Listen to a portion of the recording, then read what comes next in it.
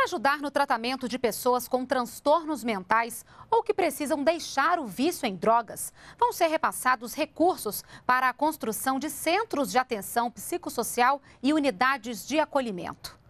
O repórter Leandro Alarcon está no Ministério da Saúde e de lá traz para a gente os detalhes. Boa noite, Leandro. Boa noite, Renata. Os Centros de Atenção Psicossocial, os chamados CAPs, e as unidades de acolhimento são formadas por profissionais de diversas áreas, como psicólogo e assistente social. Nos CAPs são realizadas diversas atividades, como, por exemplo, oficinas de reabilitação. Aqui ao meu lado, o coordenador adjunto de saúde mental do Ministério da Saúde, Leão Garcia. Boa noite, coordenador. É, como esses valores foram, vão ser distribuídos e quais são esses valores? Olha, primeiro é importante dizer que é a primeira vez que o Ministério da Saúde está financiando os centros de atenção psicossocial e unidades de acolhimento na sua construção. Né? A gente já vem passando recurso para os municípios e estados é, manterem as equipes desses serviços, né? um recurso mensal, e agora nós estamos passando um recurso de investimento para construir esses equipamentos. Então, são 500, até 500 mil reais para as unidades de acolhimento e até um milhão de reais para os centros de atenção psicossocial, totalizando 50 milhões de reais nesse primeiro momento que o Ministério está colocando.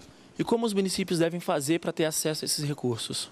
Olha, a portaria foi publicada essa semana e os municípios, o secretário de saúde, podem acessar a página do Ministério da Saúde, a página da saúde mental dentro do Ministério da Saúde e vão encontrar lá um guia detalhado com todas as coisas que precisam ser feitas, os documentos, como acessar esse recurso. Como é que funciona esses CAPs e as unidades de acolhimento? Olha, os CAPs são é, a grande inovação brasileira para mudar a atenção à saúde mental, incluindo aí os problemas relacionados ao álcool e drogas, ao crack, por exemplo. Então, os CAPs funcionam com essas equipes, como você falou, com médico, sempre com médico, com psiquiatra, né, oferecendo um atendimento porta aberta, ou seja, qualquer pessoa pode chegar no CAPS, não precisa de encaminhamento, não precisa marcar a hora, tem garantia desse primeiro atendimento e a partir daí vai se avaliar o que, que é preciso oferecer precisa de consulta médica, consulta com psicólogo, precisa de grupo, de oficina, vai fazer um trabalho com a família também dessa, dessa pessoa, pessoa que tem problema com drogas, por exemplo, é muito importante trabalhar com a família, vai poder fazer visita à casa da pessoa, se for necessário, entender quais os recursos da comunidade da pessoa que podem ajudar no tratamento, uma igreja, uma associação de bairro, um clube de esportes que ela está frequentando, que às vezes a equipe do CAPS vai até lá para dar um cuidado. E alguns CAPS funcionam 24 horas horas. Ou seja, eles podem acolher a pessoa durante a noite, aquela pessoa que não tem condição de voltar para casa, mas que também não precisa ir para um hospital, pode ficar, passar a noite ali naquele CAPS, às vezes para evitar até uma recaída da droga, uma recaída do crack, né, até se estabilizar. A unidade de acolhimento é um serviço que funciona como se fosse um irmão do CAPS. É uma casa, tipo uma república, que tem até 15 adultos, né, ou até é, 10 crianças ou adolescentes, onde as pessoas, esses adultos ou esses adolescentes, vão poder ficar até seis meses morando lá. Moram lá, tem uma equipe que dá apoio e eles continuam o tratamento deles dentro do CAPS.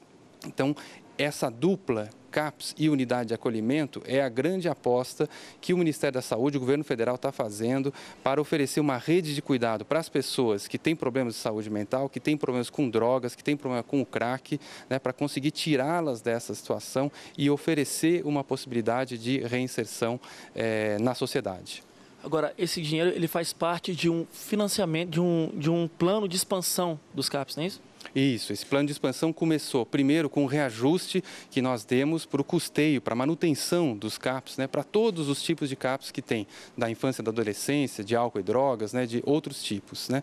Esse é o recurso que ajuda a manter as equipes, né, a pagar os salários dos profissionais.